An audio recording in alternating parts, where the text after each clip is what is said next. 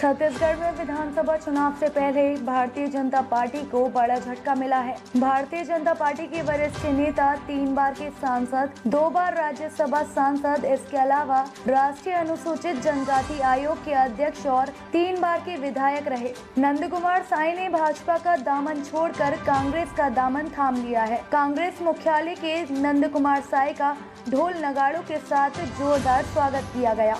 मुख्यमंत्री भूपेश बघेल, प्रदेश अध्यक्ष मोहन मरकाम की मौजूदगी में साई ने कांग्रेस की सदस्यता ग्रहण की। सीएम भूपेश बघेल ने नंद कुमार साई को कांग्रेस की सदस्यता दिलाई। इस मौके पर पार्टी के तमाम दिग्गज नेता मौजूद हैं। इस मौके पर मुख्यमंत्री भूपेश बघेल ने कहा कि आज बहुत बड़ा दिन है।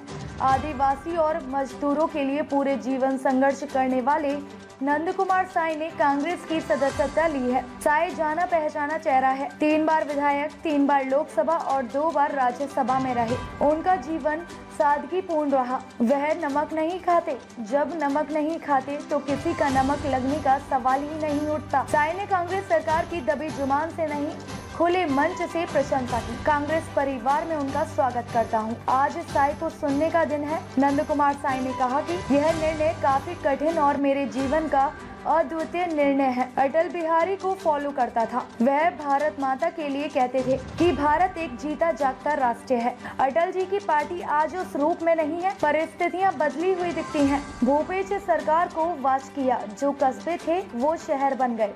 एक नारा अच्छा लगा। नरवा, गरवा, घुरवा, बड़ी। एला न छोड़ वे संगवारी।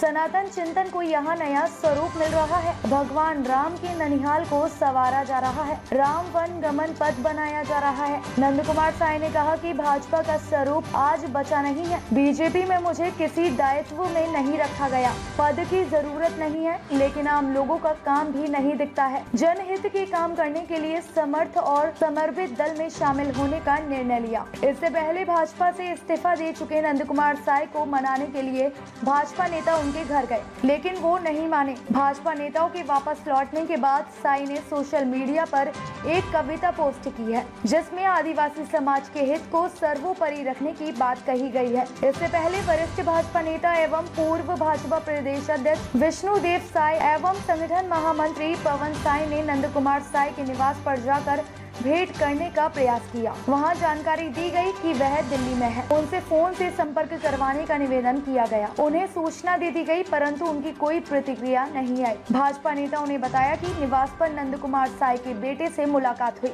लगभग दो घंटे उनके निवास पर रहकर फ़ोन से कुछ संदेश उन तक और पहुँचे, परंतु कोई प्रतिक्रिया नहीं आई। गौरतलब है की रविवार को ही नंद कुमार साय ने प्रदेश भाजपा अध्यक्ष अरुण साफ़ को पत्र लिखा है। इसमें साय ने भाजपा की प्राथमिक सदस्यता और सभी पदों से इस्तीफा देने की बात कही थी। ताज़ा खबरों से जुड़े रहने के लिए हमारे चैनल को सब्सक्राइब करें और बेल आइकन को दबाना ना भूलें, ताकि हर खबर की नोटिफिकेशन आपको मिलती रहे।